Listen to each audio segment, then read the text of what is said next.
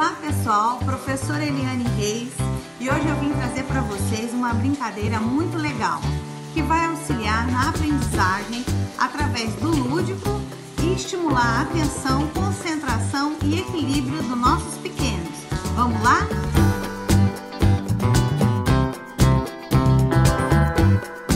Vocês vão precisar de uma caixa de papelão, uma bolinha de borracha, uma canetinha, pode ser de qualquer cor, e uma tesoura, com auxílio do adulto, hein?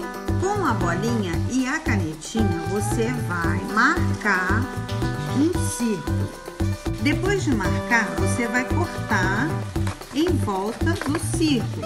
E está pronto o nosso brinquedo. Você vai entregar para a criança e ela vai tentar acertar círculo.